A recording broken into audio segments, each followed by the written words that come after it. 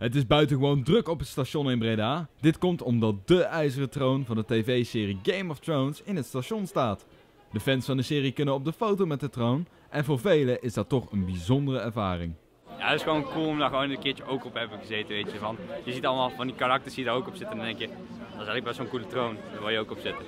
Het is, uh, die troon is natuurlijk uh, iconisch voor de serie.